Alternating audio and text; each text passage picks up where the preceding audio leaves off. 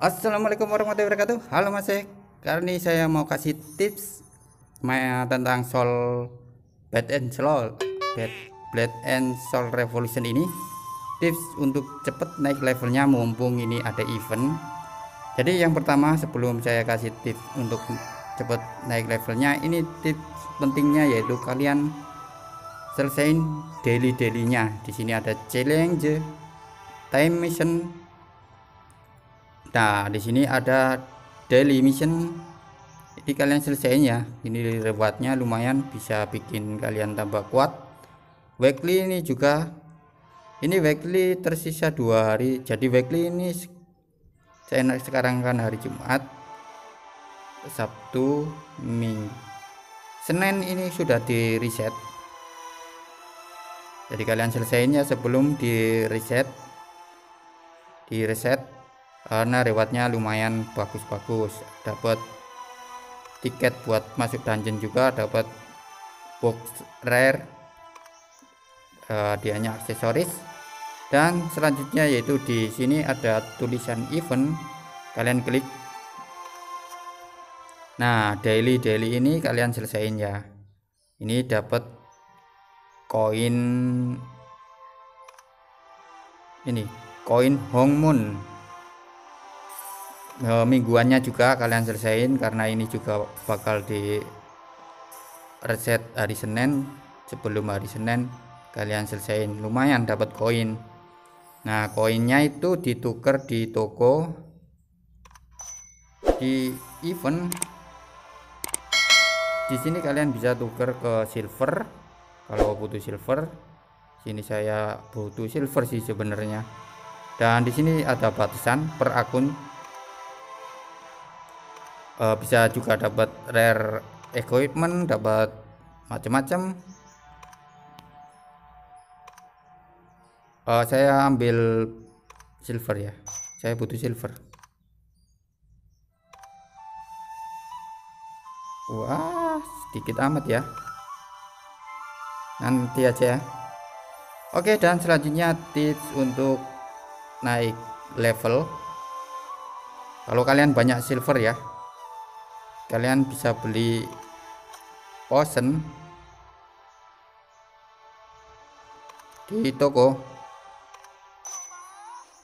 Di mana ya? Saya lupa.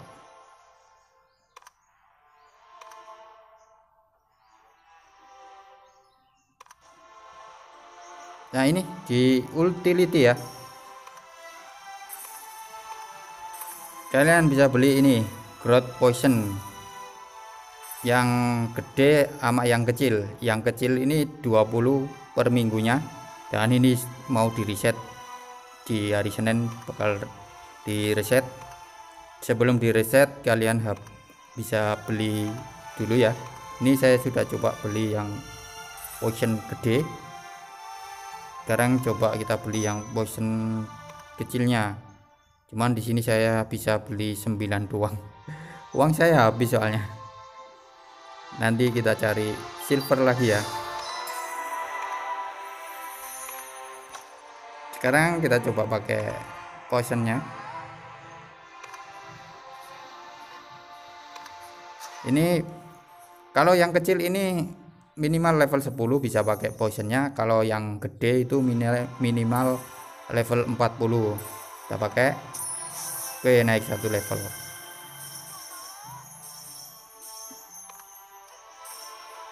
Selain di situ juga kita bisa dapat potionnya lewat adventure dungeon di event di Hong Moon. Ini juga bisa dapat potion tersebut. Selanjutnya tips levelingnya yaitu kalau kalian pengen grinding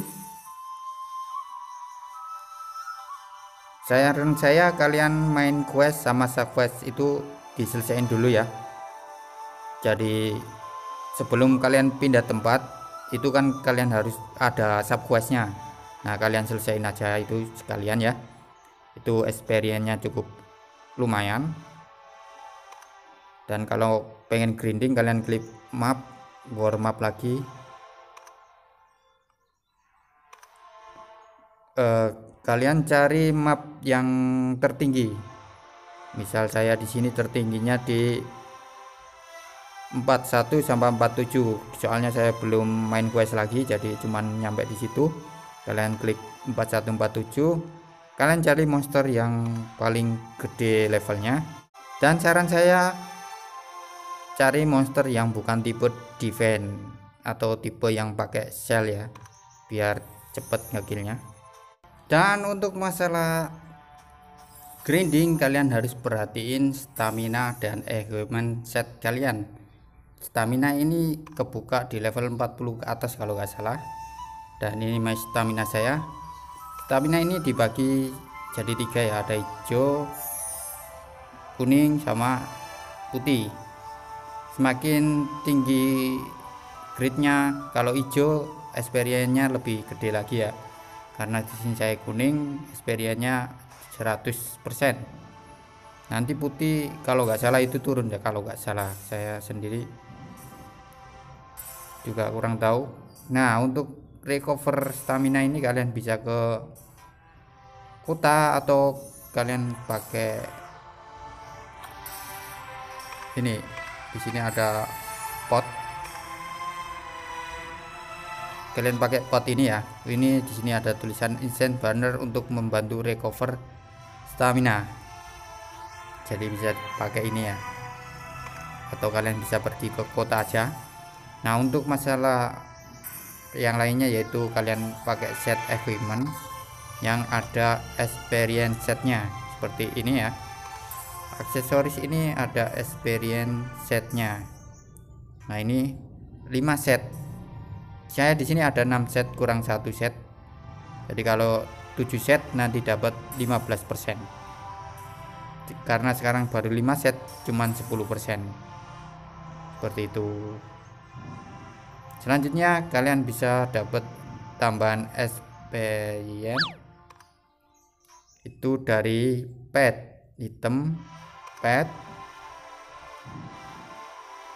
Nah pet panda saya ini dapat experience acquired 16% ya saya dapatnya ini dari nonton iklan di toko ya. Kita klik toko. Eh, mana ya pet pet pet nah ini di sini ada daily daily pet pembelian akun harian per server 25k saya nonton iklan aja dan dapat pet tadi pet hijau pet ancaman. Kalau bisa sih kalian tiap hari tonton iklan ya karena di sini pet yang enggak dipakai kalian bisa upgrade biar naik gridnya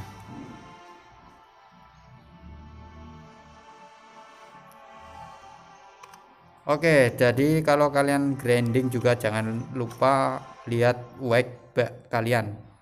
Nah untuk nambahin wake bak kalian cukup klik tanda plus di wake nya beli wake increase ticket saya udah beli ya jadi di sini. Oke kalian bisa tambahin wake-nya atau kalian bisa taruh ke sini ke warehouse selanjutnya yaitu bagaimana cara memperbaiki equipment yang pecah.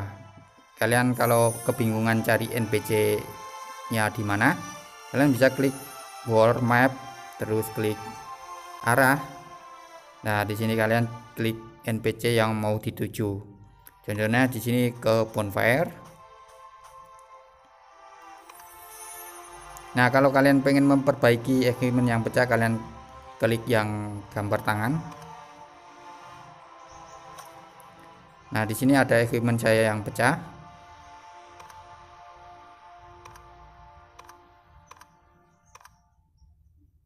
Saya kasih contoh. Nah untuk tumbalnya itu halus equipment tipe rare yang sama. Bukan tipe rare sih. Harus tipe grid yang sama. Misal di sini saya kan pakai tipe rare ya. Jadi tumbalnya harus tipe rare. Dan nggak boleh tumbal itu nggak ada enhannya. Ini kan enhan plus 6 saya tuh udah ada enhan yang eh saya itu ada equipment enhance yang belum ada plusnya. Nah ini.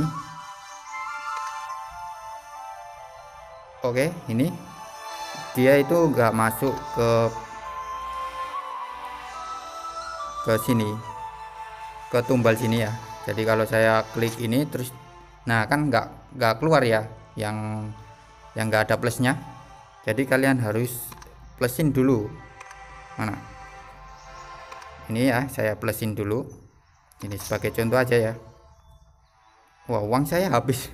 Goblok oke masih saya sudah beli uang pakai koin event. Terpaksa. Oh ya. Di sini enhance dulu ya. Lupa. Kita enhance yang tadi dulu yang belum ada plusnya ini. Kalau nggak salah sampai plus 5 udah bisa pakai buat tumbal. Plus 2 plus 3 plus 4 coba ya plus 4 dulu bisa enggak Oh bisa masih plus 4 sudah bisa ya? Berarti plus berapa ya udah bisa? Saya enggak lihat tadi. Ini plus 4 udah bisa dipakai buat tumbal. Kita pakai ya. Tapi rate berhasilnya 25% masih lebih baik kita naikin lagi. Nah kalau pakai plus 6 ini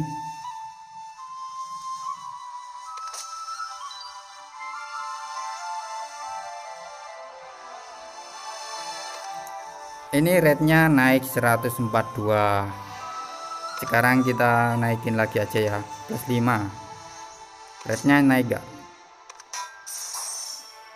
oke. Sekarang kita pakai buat tumbal. Wah wah.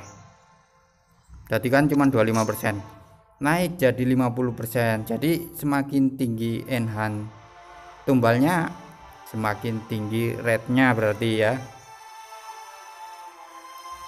Jadi itu cara memperbaiki equipment yang pecah. Disarankan di sini kalian pakai tumbal yang enhance-nya tinggi ya biar rate rate-nya gede. Oke dan tips selanjutnya untuk dapetin custom atau fashion kalian menuju ke menu kalian klik tanda pengaturan atau gear. Kalian klik akun. Kalian harus terhubung dulu sama Gmail atau Facebook. Gmail Gmail kalau nggak salah Gmail. Di sini karena saya sudah ambil rewardnya jadi sudah nggak bisa ambil lagi. Kalau nggak salah di sini kok di sini juga bisa dapat silver kalau kalian menghubungkan ke Facebook. Dan selanjutnya yaitu kalau nggak salah lagi itu di menu yang kiri. Dilihat event. Di sini bukan di sini yang mana?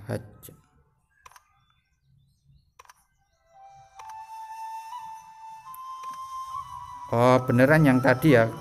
Soalnya saya lupa saya itu dapat dari event mana gitu ya nah nanti itu kalian crafting di sini di NPC ini kalian klik tanda pengaturan itu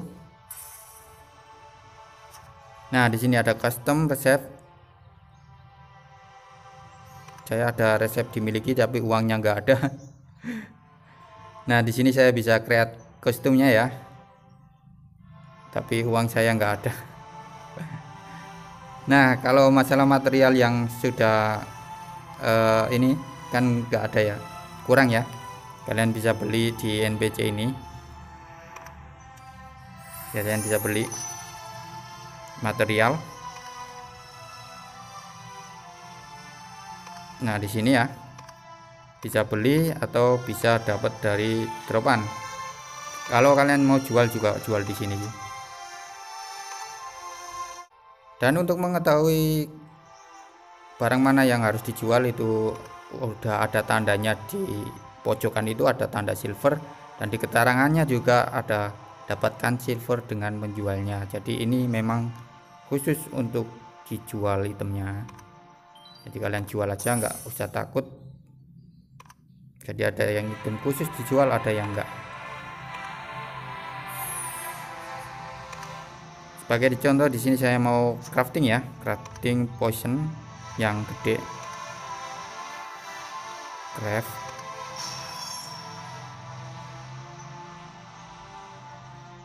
di sini bisa langsung selesai. Langsung selesai itu bayar pakai duit. Ya. Bayar pakai silver juga ya. Saya kasih contoh di sini terus langsung selesai ya nah tapi bayar pakai silver. Oke masih jadi itu dia tips-tips dari saya. Kurang lebihnya saya mohon maaf. Jika kalian suka dengan channel saya silahkan subscribe dan like jika suka video saya. Thanks for watching. Assalamualaikum warahmatullahi wabarakatuh. Dadah